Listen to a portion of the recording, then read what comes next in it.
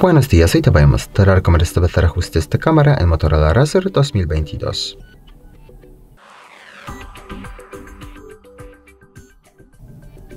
Para eso abrimos la aplicación cámara y luego simplemente pulsamos aquí arriba a la derecha para acceder a ajustes y de ajustes elegimos la última opción acerca de y aquí aparece la opción de restablecer la configuración predeterminada de la cámara entonces pulsamos aquí, confirmamos restablecer y están los ajustes ya han restablecido. Muchas gracias por ver el vídeo, te comentario abajo y suscríbete al canal. Hasta luego.